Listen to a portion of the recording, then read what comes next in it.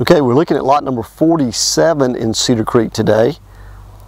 And down past 47 is going to be going to butt to the reserve at Lake Keowee property.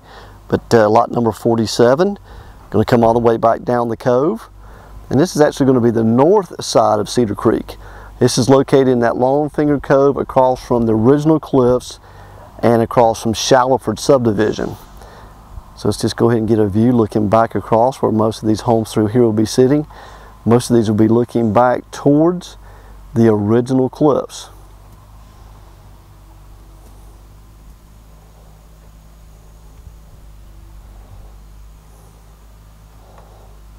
Okay, so like I said, we got three sides. We got the north side of Cedar Creek, kind of got the uh, west side of Cedar Creek, and then you kind of got the south and southeast side.